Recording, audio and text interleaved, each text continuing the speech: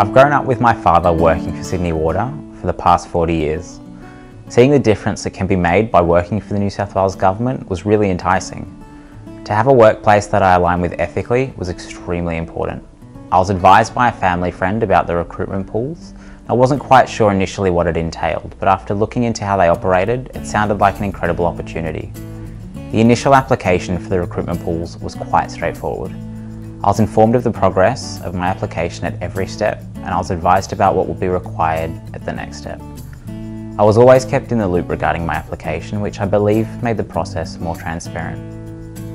I'm currently working for the Public Service Commission as a client support officer within the e-recruitment team, supporting e-recruitment across the sector. I was contacted by my now manager regarding this role and within two weeks I was starting my first day at the PSC.